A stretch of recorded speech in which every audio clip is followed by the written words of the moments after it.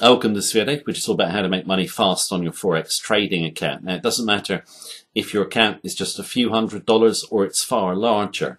The tips I'll give you in this tutorial will help you maximize your profit potential whilst keeping risk at manageable levels. Now, I also want to cover what I consider to be the best strategy to help grow your account, have your money working hard, the best pairs uh, to trade, and also uh, a realistic target growth to aim for. Now, in relation to this, what I want to do is just list out um, my favourite tips for you know increasing uh, your account quickly. Then I want to come back and discuss the points I make in a little bit more detail. Now, I'm just going to show you the tips on a storyboard very quickly. It only take about a minute and a half. Then we'll be back to discuss them in more detail.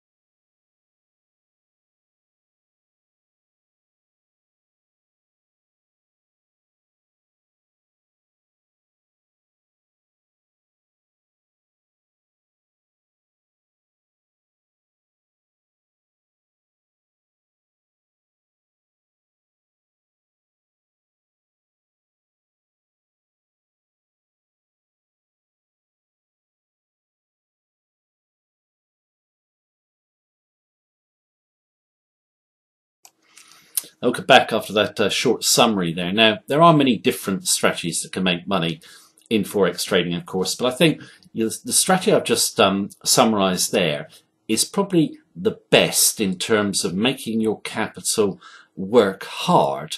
Now, in terms of yeah, price spikes, I put you know, two or three standard deviations from a mean price or a 20 day moving average. You can you know, look at that setup by just putting a Bollinger Band on your charts. Yes, a standard indicator. And you'll always notice that when you do get a highly volatile price spike, two or three standard deviations from the mean 20 day moving average, the price spike fades. Why? Because the spikes either up or down are just driven by short term bursts of greed or fear, and then the price spike fades. You see that on any currency pair you like, yeah, going backwards. Yeah, it's never ever going to change. Know, human psychology remains the same, and traders are always going to push prices too far to the upside or downside in the short term. The price spike will fade. Obviously, you've got to trade the price spike. Um, you know, time your entry correctly. That comes with a little practice. Also, we've got numerous videos up on trading standard deviation to the mean, so you can look them up. And you know, these trades always offer you good risk to reward. Know, two to one, to four to one when, when we do it. That's the sort of risk rewards we're going for.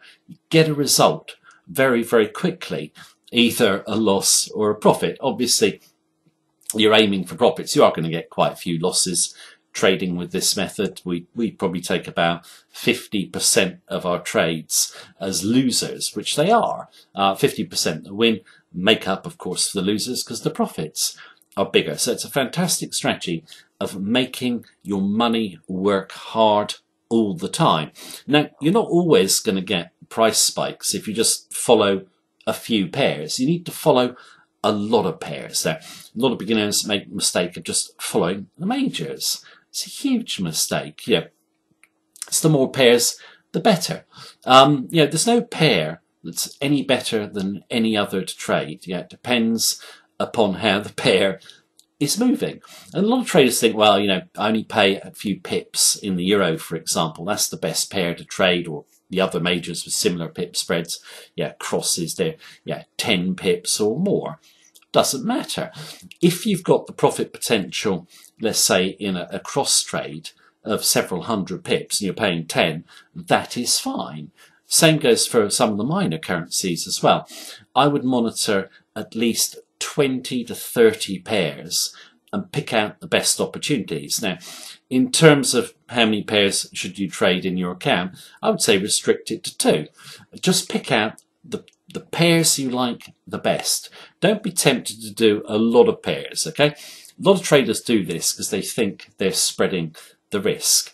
No, you're not. Um, in terms of you diversify, all you're doing is diluting your profit potential. Yeah, why not just focus on the best pairs? Yeah, you don't need to put pairs that you're not so confident in as well. Okay, firmly believe with what Warren Buffett said about you know diversification. It's only for people who don't know what they're doing. It is. Once you learn this strategy, you'll understand why diversification is not a good idea. Yeah, in terms of yeah, just going back to pip spreads, you're not going to be trading very frequently with this strategy. Maybe a few times a week. No more than that. That's enough to make you 30 to 100% annualized gains. Now, I put 30 to 100% down as yeah, a realistic target growth. I've seen many traders achieve those growth rates. Now, everyone is different in terms of their risk tolerance and the way they trade. So you, you find your own profit level.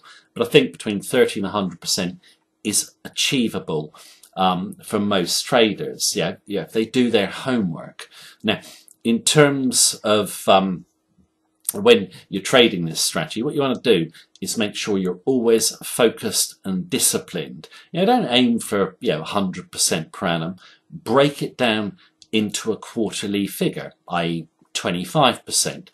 That will keep you very focused on that figure. It'll keep you disciplined. Okay, you'll just be working towards the smaller goal and then you know eventually you'll get to your you know, longer term goal.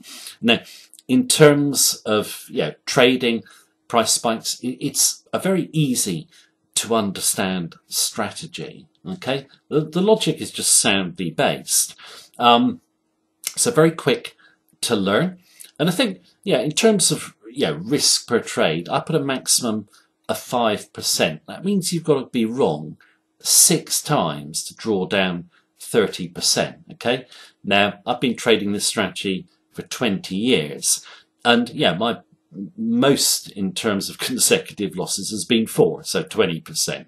I think a 30% drawdown is manageable. You know, you can come back from that, but you mustn't be in a hurry. If you do have six trades that lose on the trot, cut back your risk exposure, be patient, and yeah, just wait to get back to a new peak in equity. Do not try and go too quickly or just dig yourself bigger hole.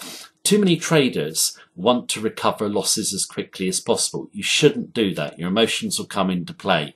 So basically, take it slowly. Now, in terms of those tips, um, they're all easy to learn. The strategy is easy to learn as well.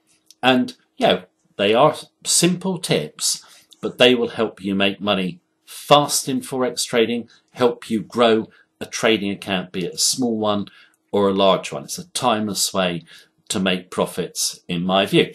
So that is the video for today. Thank you very much for watching me as per usual. Take care. Have a good day.